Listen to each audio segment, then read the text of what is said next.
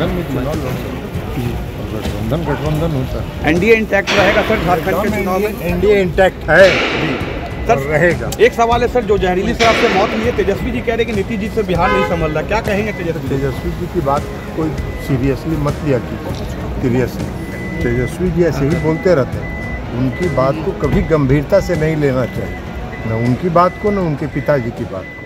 नमस्कार, आप देख रहे हैं न्यूज़ फोर नेशन मैं आपके साथ अजय सिंह। बिहार में शराब बंदी है। इसके बावजूद बिहार में जहरीली शराब से लगातार हैं। जो मौत हो रही है, जिसको लेकर विपक्ष है, जो सीधा सरकार पर सवाल खड़े कर रहे हैं। और वहीं नेता प्रतिपक्ष तेजस्वी यादव ने सीधे आज सोशल मीडिया के ज़रिए वो 12 सवाल पूछे और साफ़ तौर पर कह रहे हैं कि जिस तरह से चौक चौराहे पर किसने शराब के ठेके ठेके खुलवाए थे तो साफ़ तौर पर बिहार के मुख्यमंत्री नीतीश कुमार पर सवाल खड़े कर रहे थे। और इसी को लेकर जब सवाल किया गया केंद्रीय मंत्री ललन सिंह से तो बड़ा बयान देते हुए नज़र आ रहे हैं। क्या कुछ करें ललन सिंह पहले तो?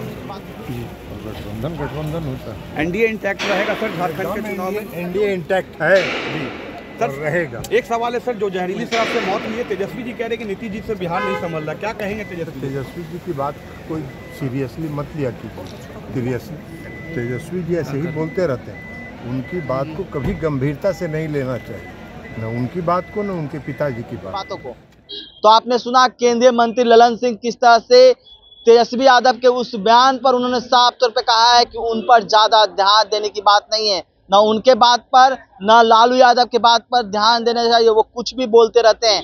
और जिस तरह से झारखंड में जो एनडीए का सीट बंटवारा हो गया है, जिसमें कहीं ना कहीं बिहार के तमाम जो पार्टियाँ हैं, वो एनडीए गठबंधन के तहत चुनाव लड़ना चाह रहे थे, लेकिन वहाँ पर जीतन राम मांझी को साइड कर दिया गया इसको लेकर जब सवाल किया गया कि क्या एनडीए इंटैक्ट है? तो उन्होंने साफ़ तौर पे कहा है कि देखिए एनडीए इंटैक्ट है। लेकिन जिस तरह से बिहार में जहरीली शराब को लेकर सियासत काफ़ी गरमाई हुई है जहाँ तर, एक तरफ़ सवाल विपक्ष सरकार पर खड़े कर रहे हैं कह रहे हैं कि ये जो शराब के ठेके हैं किसने खुलवाया था? और ये जिस तरह से जो जहरीली शराब से लोगों की मौत हो रही है उसको लेकर उन्होंने तेजस्वी यादव ने साफ़ तौर पर कहा है कि ये मौत नहीं सीधा हत्या करवा रहे हैं।